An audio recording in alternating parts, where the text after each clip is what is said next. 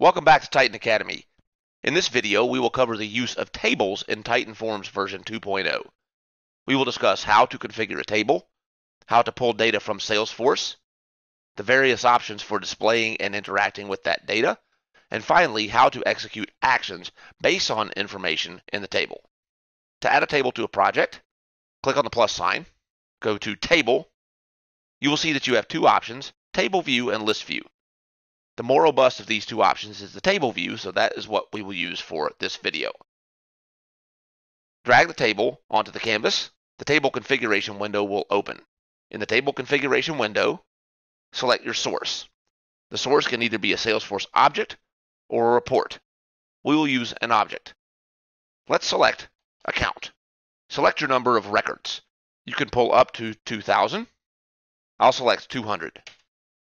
On conditions, set any filter conditions. For example, if you want to return only records where the account type is a certain value, you would enter that here. We won't use any filters for this example, so I'll remove this. On the Mapping tab, select the columns that you want to display. Let's select Account Name. The column is given the default label of Account Name. You can change that if you want. We'll leave it as is. Let's add account type and billing city. We will also add an action column. Click Add an Action. An action can be shown in either button or icon form. In the on-click action properties is an action editor. We'll come back and add the logic for that action later. For now, we will label this delete. Click Apply, and then resize your table appropriately. I'll save this now. Let's go ahead and preview it. You can now see account information being pulled from Salesforce into a table. Let's take a look at the options for interacting with this data and other options for displaying this data. Select the table, gear icon, and this will bring up the settings window. In the content window, you see the edit mapping button. This will open up the Salesforce configuration window where we just were. So if you need to make any changes once you've added the table, this is how you get back to it. In the Columns tab, you see our various columns listed. For each one, if you click on the gear, you can adjust various settings. Let's look at account name. In your column settings, you have the option to show or hide the column. This doesn't apply for our table here, but there are scenarios where you will need to retrieve data in the table but not necessarily show it to the end user. If that's the case, you simply deselect this checkbox. You could include the column in a summary row, for example, a count of records. You can also allow grouping, filtering, and sorting. Let's allow for filter by account name and sort by account name. The action option we will show a bit later.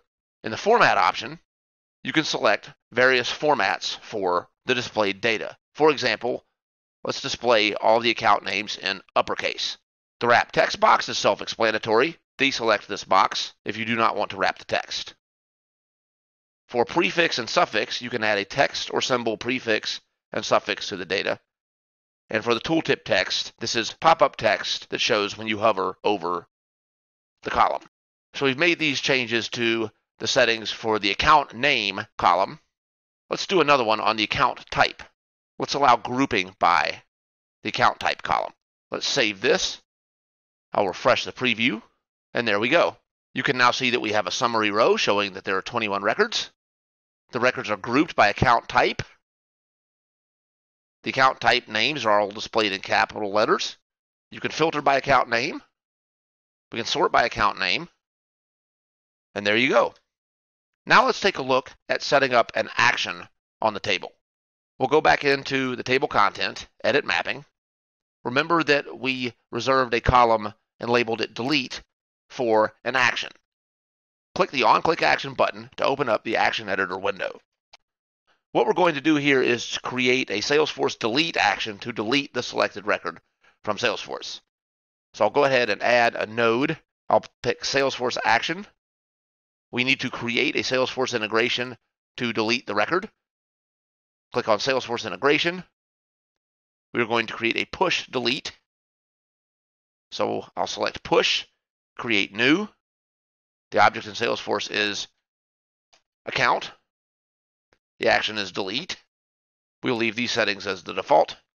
The conditions are we want to search by account ID because the record ID is what is stored as the table's value of the selected record. So we'll choose account ID. The operation is equals, and the field will be the table value. The value attribute of the table holds the record ID of the record that was returned. We don't need to set anything else here, so I'll go ahead and click Apply.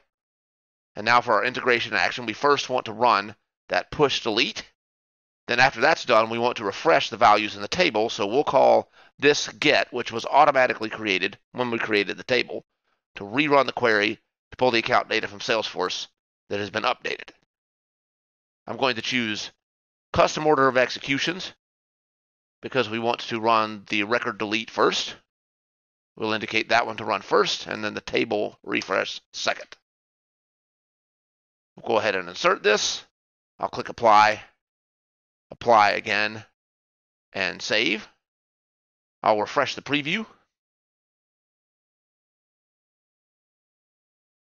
I created an account to use for this. I called it account to delete. You can see it there. We've searched for it in the filter.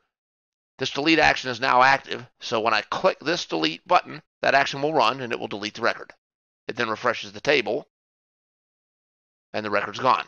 You see there are now no more accounts that match that filter criteria. If I remove the filter criteria, there were 21 records. There are now only 20. To verify this, go into your builder, go to the gear, go to Salesforce integration logs, and you can see that the account delete action has run. Finally, let's take a look at a couple of other configuration options on your table. Select the table, select the gear, select interactivity. Here you see various interactivity options that can be set. You can hide the table on load. You can select allow selection. This will allow the user to select one or more records in a checkbox. You can restrict it to single selection, allowing only a radio button selection.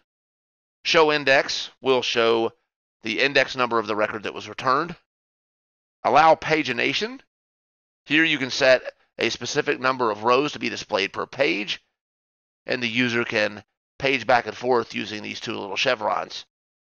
You can freeze the header. You can allow a global search. You can also here set grouping, filtering, and sorting, which we've done on the columns already. And that is how it's done.